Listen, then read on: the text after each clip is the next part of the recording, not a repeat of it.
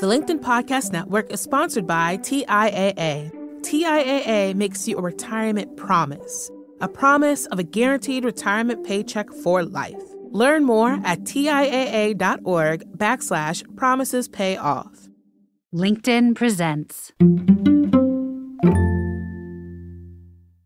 As an addiction psychiatrist, I have been grateful for the tools at my disposal, which have been helpful for many people. But I also recognize that addiction is far more complex than a disease, a dopamine loop, or a bad habit in need of medicines or self help books. There is a deeper process at play requiring our sensitivity and attention, and that touches on issues relevant to all of us, including our values, our culture, and our ways of being. Hi, everyone. It's Tuesday. I'm your host, Michael Kovnat, and this is the Next Big Idea Daily. Now, what exactly is addiction? Is it a disease, a moral failing, a spiritual crisis? If you or someone you care about has struggled with addictive behavior, you know it's not any one thing, and it's shrouded in misunderstanding. Here to puncture the many myths that surround the condition is Elias Dakwar, author of the new book, The Captive Imagination Addiction, Reality, and Our Search for Meaning. Elias is a psychiatrist and an associate professor of psychiatry at Columbia University. Here he is to share five of his big ideas. Over the course of my medical and scientific work, I've evolved my understanding of addiction and mental illness to better fit the needs of my patients and adapt to new data. Where I've landed is very different from the standard story. A key idea of the book is that addiction is a crisis relevant to all of us, a crisis of being human. Here I discuss five popular myths that might be getting in the way of better understanding and addressing addiction. Myth 1 Drugs are the problem. Drugs are as dangerous as fire, and also just as helpful when approached thoughtfully. Yet, we generally regard drugs with suspicion. One reason for this is that they are believed to have what scientists call abuse liability, which means a property inherent to the drug that compels misuse or addiction. An abuse liability is thought to result from drugs acting, to a greater or lesser degree, on certain brain circuits and modifying them over time, rendering the brain more vulnerable to problematic and compulsive use. Social policy to combat addiction is therefore focused on cutting off access to certain drugs, primarily through criminalizing them. It's highly problematic to focus on the harms of drugs to the exclusion of a more balanced perspective. This is like regarding fire as possessing, say, forest fire liability and criminalizing it because it is inherently dangerous to forests. And there are also real world consequences to this perspective, beginning with the direct harms that have resulted from the war on drugs, such as mass incarceration and black market adulteration of substances. The most flagrant issue is that the data simply don't support this story. Most people who use drugs, and this goes for all drugs, including highly vilified substances such as heroin or methamphetamine, are able to maintain responsibility without going off the rails. Only a fraction of people who use drugs, in other words, develop addiction, which indicates quite clearly that drugs are not the main issue. Further, there are behaviors that resemble addiction, such as problem gambling, that don't involve drugs at all. So if drugs aren't the culprit, what is? Myth 2 The brain is the problem. It seems clear that certain people are more vulnerable to a diagnosable addiction than are others, with this vulnerability likely underwritten by genetic, personality, environmental, and psychiatric factors. And even though drugs might not be the cause, it's believed that they can trigger a susceptible brain into developing an addiction, as might also be the case with certain activities such as gambling.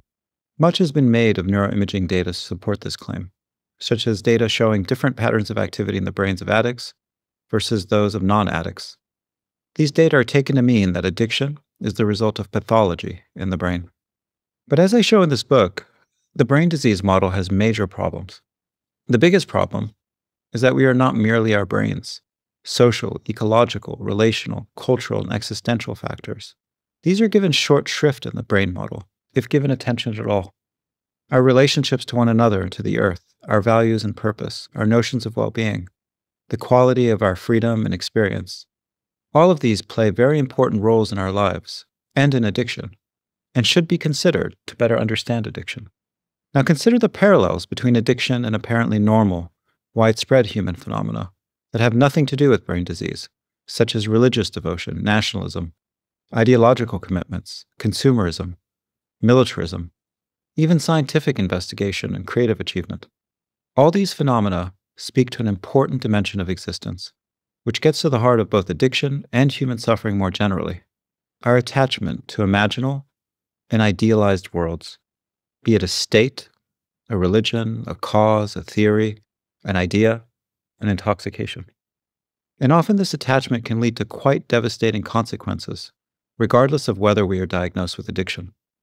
Addiction, in other words, has an important imaginal component that needs to be considered for us to make any progress in understanding and treating it. Myth 3 Addiction is a disease. We have a deep need as human beings for meaning, for a purposeful life, for authenticity, and for making sense of the world. This is a core part of our lives, whether we are artists, businessmen, scientists, or addicts. I show in this book that the most fruitful way to understand addiction is as an especially visible and anguished instance of this basic human striving. This gets at why addiction can be so difficult to break. Addiction is deeply meaningful, providing a path through the world for the affected person that is familiar, comprehensible, and anchored in experiences of value and purpose. Of course, the person will have difficulty giving that up. Yet, despite its familiarity and meaningfulness, there's something unreal about this path as well. The whole production can, in fact, be at odds with reality, or at least worsening the suffering it is intended to console. For example, a person may find in alcohol a kind of sanctuary, imagining intoxication as a solution to certain troubles. And the person with addiction continues to regard it as a sanctuary, even when it becomes, in reality, a prison. Which brings us to another tendency we are prone to mistake the unreal for the real.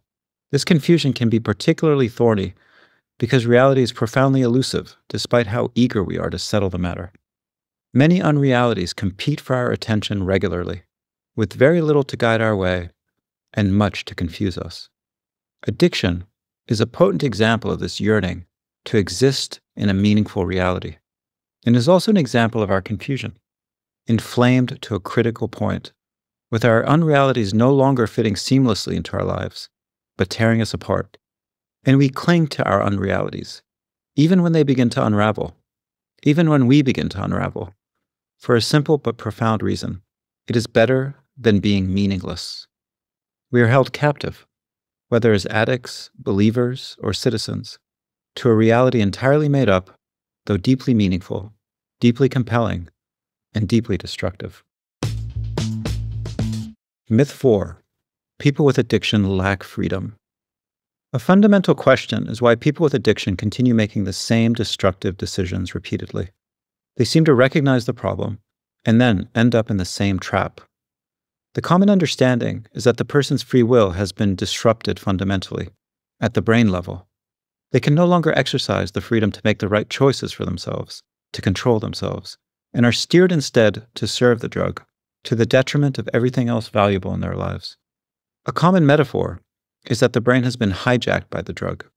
But the same imagination that exercised the freedom to find in alcohol sanctuary and to imagine the world accordingly might at any moment reimagine the entire world in a radically different way. Population wide data support this, as does clinical experience. A pivot occurs, sometimes all at once and without treatment, towards a wholly different way of being, where the entanglements of the past no longer have us in their grip. Some patients describe it as waking up from a dream, but maybe a more accurate way of putting it is that they move from one imagined world, one dream, to another.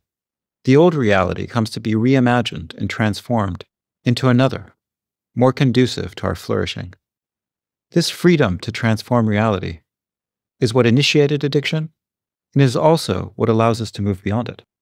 It remains present even in our darkest days. By remaining attentive to this freedom, we can better understand the roots of addiction, as well as mobilize more skillfully the imagination to find a more authentic way. Which brings us to the final myth addiction requires a medical solution.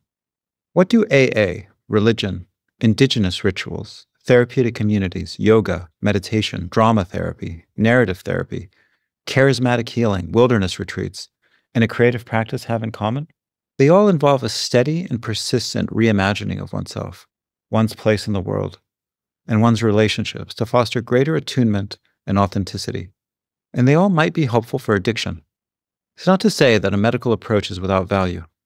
As an addiction psychiatrist, I have been grateful for the tools at my disposal, which have been helpful for many people.